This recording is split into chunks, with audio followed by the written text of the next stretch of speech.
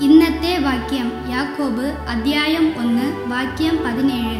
എല്ലാ നല്ല ദാനവും തികഞ്ഞ വരമൊക്കെയും ഉയരത്തിൽ നിന്ന് വെളിച്ചങ്ങളുടെ പിതാവിങ്കൽ നിന്ന് ഇറങ്ങി വരുന്നു. അവന് വികാരമോ ഗതിഭേദത്താലുള്ള ആച്ഛാദനമോ